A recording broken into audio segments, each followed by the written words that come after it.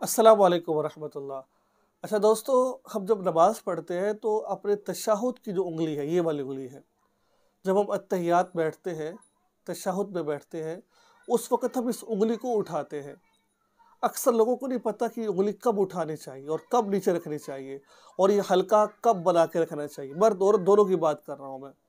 बहुत है मसला है, ज़रा ध्यान से बात को समात फरमाइएगा। देखिए ये तशाहुद की उंगली है। इंसान अतहियात पढ़ता है अतहियात वसलावात वतयबात अस्सलाम नबी वरहमतुल्लाहि वबरकातुहू अस्सलाम वाला आगे दूसरा कलमा शुरू होता है, याद रखिए। जब दूसरा कलमा पढ़ना है, उस वक्त हमने पढ़ना है, अशहदु अल्लाह। जब हमने पढ़ा अल्लाह अल्लाह, ठीक है ना? जब अल्लाह पर पहुँचे, उस वक्त खड़े कर रहे हैं, अशहदु अल्लाह इल्ला पर पहुँच रहे हैं तो उसको नीचे कर लेना गोली को। अश, इधर देखिए। अशहदु अल्लाह फिर हमने ये हल्का बनाए रखना है, ये ऐसे।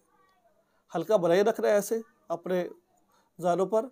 ऐसे बना कर अशहदु अन्न मुहम्मद अब्दु व रसूलु आगे, रब्बी जाली आगे दुर शरीफ पढ़नी है, फिर रब्बी जाली पढ़नी है।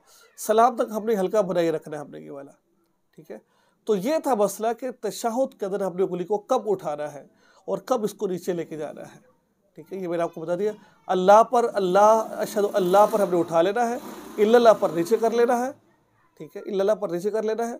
और इस हल्का जो हाथ हल्का ये बना हुआ है उंगली का, और ये हाथों का, ये हमने असलाम जब तक सलाम नहीं फिर उस वक्त हमने ऐसे कायम रखना है, फिर हमने सलाम फिर देना है।